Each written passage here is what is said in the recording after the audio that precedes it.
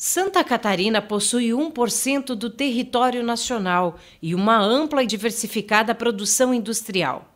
É o segundo estado em competitividade no Brasil, tem o sexto maior produto interno bruto brasileiro, a menor taxa de desemprego e é a quinta maior balança comercial. Esses foram alguns dos dados apresentados pela Federação das Indústrias de Santa Catarina, a Fiesc, nesta quinta-feira em Caçador para o empresariado do meio oeste do estado. O encontro marcou o lançamento do programa Travessia, que visa debater a reinvenção das indústrias, melhoria do ambiente de negócios, exploração de novos novos mercados, qualificação de trabalhadores e desafios da infraestrutura e investimentos. A reunião contou com a presença do presidente da Fiesc, Mário César de Aguiar. Ele explicou que a pandemia trouxe um momento de reinvenção para a economia catarinense. Com a, a origem da pandemia, nós tivemos assim uma provocação muito grande em termos de consumo e modificação é, no consumo e no comportamento das pessoas. Por conta disso, as nossas empresas têm que se reinventarem para se adaptarem para essa nova condição. Então é importante que a gente venha aqui demonstrar o trabalho que a federação está fazendo no sentido de reinventar a economia. Mas para isso é necessário que a gente crie um ambiente favorável.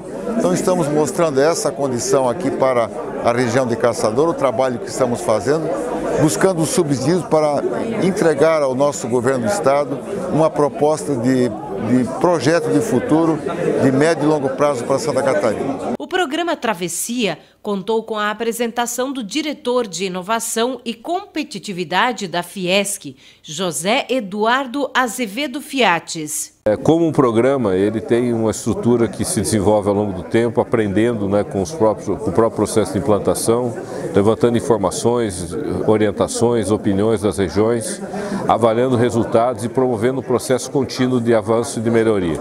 Essa é a ideia do programa e com isso nós pretendemos contribuir com o desenvolvimento de Santa Catarina. A comitiva da federação foi recepcionada pelo primeiro vice-presidente da Fiesc, o empresário Gilberto Seleme, o qual enfatizou a necessidade desses debates.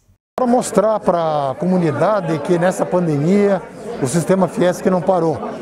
O SESI e Senai foram buscar soluções para as indústrias, nós temos que defender a indústria e para nossa grande surpresa, é, o presidente trouxe boas notícias para cá. Ele trouxe notícia de investimento em qualificação de mão de obra, investimentos em inovação aqui na nossa região.